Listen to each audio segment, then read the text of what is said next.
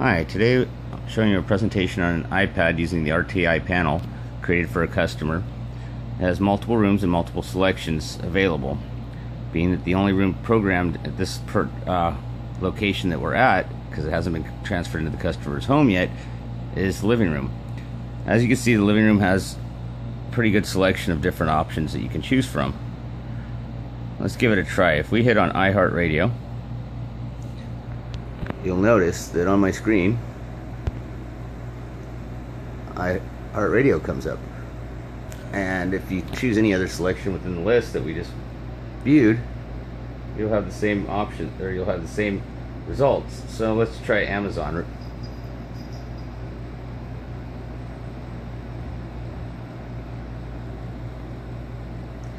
Or let's try Apple TV.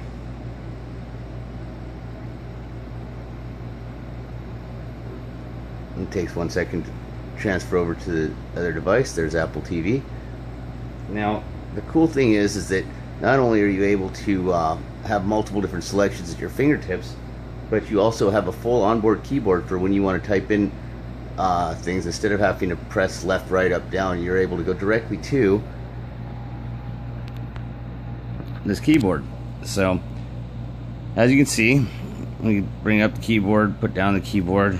We also have, just like the Apple uh, iPad, has uh, the full keyboard available there.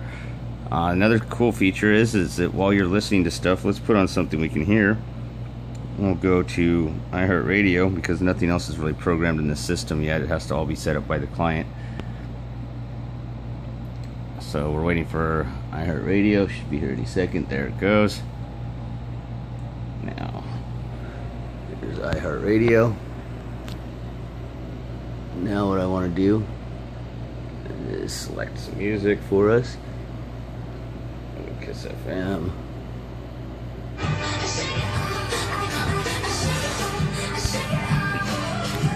Now, sometimes you're not sure how loud or how quiet your system's running, and you want to know, you're actually able to see here how loud or quiet it is.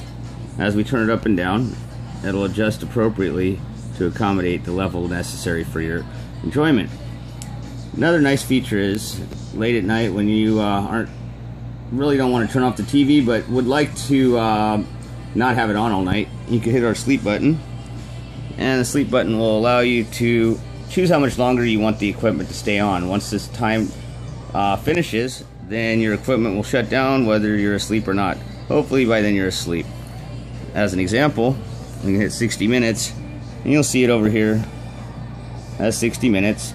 And if we want to just cancel that timer because uh, we don't want our equipment to go off, we can just hit cancel, and it goes away. Another neat feature on this particular panel is that uh, we have background changes. You know, after a month or two or three of looking at the same old thing, you want to see something different. So we'll go into there, which is right here, I believe. There we go. So we can change backgrounds.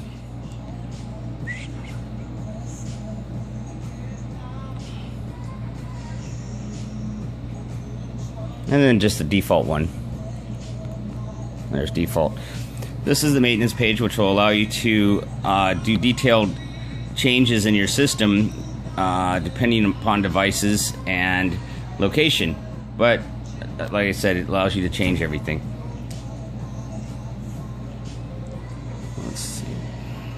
Furthermore, there's also a party mode, uh, ability to turn off your TV if you just want to listen to music in the background, or you want to change the format on your TV because sometimes you have a 4x3 format and would like to have a large or have it fill up the full screen.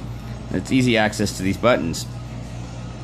Let's go back to our main page and you'll see that um, that pretty much wraps up the stuff that we have available right on this particular panel. There are some other features actually I can think of. Um, if you have these features added, it is also definitely possible. You have pool, thermostat, lighting, and tons of other choices that we can add in. But as an example, we'll go to pool. There's a full pool control for your home. You can also go to lighting. or temperature. There's the thermostat page. You can go to temperature, which and lighting.